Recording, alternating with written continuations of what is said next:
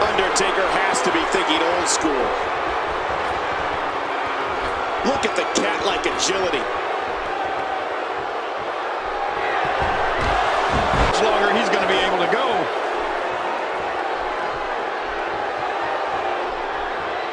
What does the calloused heart of The Undertaker have in mind? Ooh, a little showboating going on here. How much more?